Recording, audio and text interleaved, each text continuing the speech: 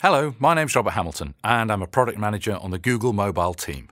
Today I'm going to show you the latest version of a great new search tool. Google Mobile App is a free application that gives you instant access to Google Search on your iPhone or iPod Touch and helps you get to other apps like Gmail and Google 411.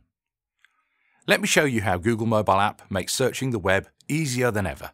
When you start typing a search, for example for baseball, you'll get search suggestions to help you find what you need quickly.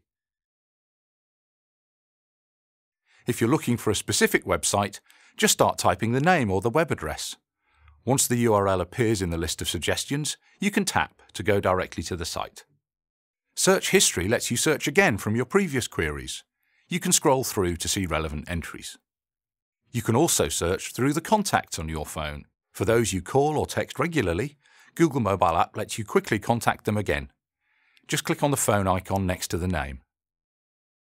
Search with My Location makes finding local businesses easier than ever.